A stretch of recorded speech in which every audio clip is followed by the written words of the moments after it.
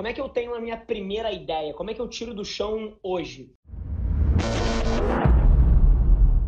Cara, assim, se eu pudesse montar um plano para qualquer um aqui, cara, investe os próximos três dias consumindo a plataforma durante duas horas por dia, igual um, igual um boçal, assim. Você vai ficar escrolando o feed, rindo, porque é, é engraçado pra caralho, sim. A vai salvando, pô, vai botando na sua pastinha. Vai, vai salvando, vai botando na sua pastinha, vai pegando referência, vai entendendo, porra, todos os nichos que tem ali dentro, formatos e etc.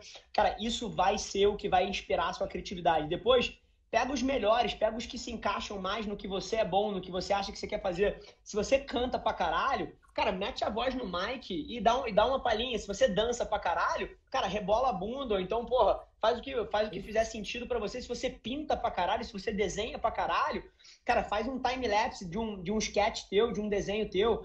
Assim, a quantidade de variações ali dentro que você nem imagina que possam. Eu juro por Deus, no, nos próximos seis meses alguém vai criar uma conta de TikTok que vai bater 10 milhões de seguidores e que a única coisa que o cara faz é cruzar o braço e ficar olhando para a tela assim.